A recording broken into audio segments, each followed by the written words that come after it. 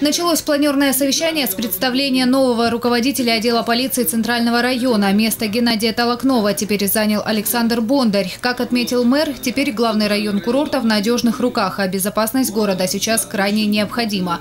Ведь в Сочи одномоментно находится 275 тысяч отдыхающих. Норма для курорта 200 тысяч. А значит, весь номерной фонд загружен на 100%. Больше полусотни туристов проживают в частном секторе у знакомых либо в жилых вагончиках или в кемпингах. Больше людей, значит, возрастает нагрузка на коммунальные службы. С этой задачей курорт справляется. В целом город справляется. Я думаю, что надо отдать должное значит, работе глав районов и коммунальщикам и быть ну, честны, что при таком количестве туристов, конечно, увеличивается втрое. Он действительно огромен, в большом количестве, это вывозится. В три раза больше вывозится. Куда вывозится? Вывозится за пределы города Сочи.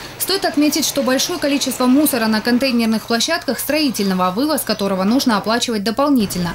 Во избежание нарушения санитарной обстановки на курорте, на площадках, которые чаще всего оказываются переполненными, будет вестись мониторинг и круглосуточное дежурство. А каждый случай незаконного выброса отходов рассматривается в полиции.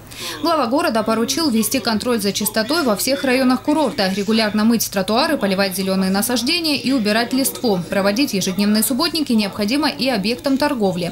Мэр также рекомендовал оставлять включенными до полуночи городские фонтаны. На планерке обсудили и санитарно-эпидемиологическую обстановку на курорте. Качество питьевой воды стабильное по микробиологическим и санитарно-химическим показателям. Морская вода на пляжах города в эпидемиологическом отношении безопасна. Массовых инфекционных заболеваний и пищевых отравлений не зарегистрировано. Речь зашла и об обеспечении безопасности отдыхающих. Если на пляжах работа спасателей ведется на должном уровне, то в рекреационных зонах их нет.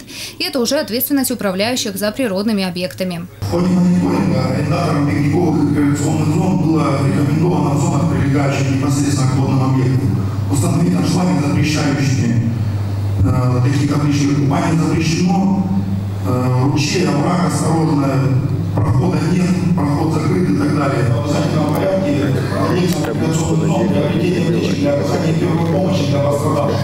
Так как они все отсутствуют, была проведена проверка и аптечек э, фактически ни у кого нет. Мониторинг и проверка рекреационных объектов продолжится, как и работа по выявлению правонарушений в сфере розничной торговли алкоголем.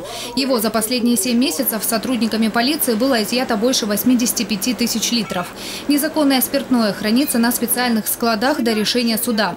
Завершилось планерное совещание вновь обсуждением безопасности жителей и гостей курорта. Обговорили порядок действий мэрии во время проведения антитеррористических мероприятий на территории курорта. Татьяна Говоркова, Демид Данилов, Покровский, телекомпания «ФКТ».